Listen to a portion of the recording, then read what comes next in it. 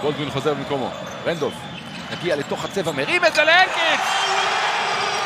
שמע, יש פה רחפנים וארוכים. בפלוס ארבע, פתחה את הרבע הזה במינוס חמש. הנקינס, הנקינס מצליח להעביר את הכדור הזה דרך החישוב. אחרי המהלך האחרון, וייד בולדין, לא יודע אם ראיתם את זה, ממש רץ בצעקות ליפתח זיו על זה שהוא לא כיסה טוב את ברנדון ראונד. הזדמנות לראות את זה, גם זה על הרגל ההפוכה, תסתכל. איתי שגב עם, ה...